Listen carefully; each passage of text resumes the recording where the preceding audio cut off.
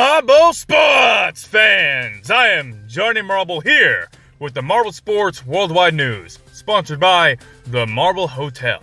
Wherever you roll, we'll be there. Event 14 of Marble League 2021 was the Classic Sand Rally, and it featured some very intense racing. You never really knew who would come out on top as the marbles were constantly swapping positions throughout the race, and even the marble who started in first could end in last. The Rojo Rollers finished seventh in their heat and failed to move on into the finals. And unfortunately for their coach, Rojo Cero, it was the last straw for the team manager, who fired them on the spot.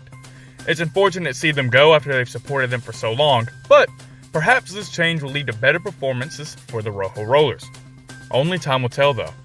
On a more positive note, the final race was something else, as a four marble photo finish for second occurred, with marbles literally flying over the line.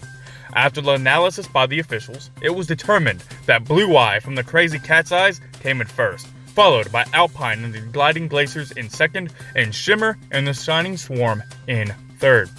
And now for Event 15 soccer, or football depending on where you're from.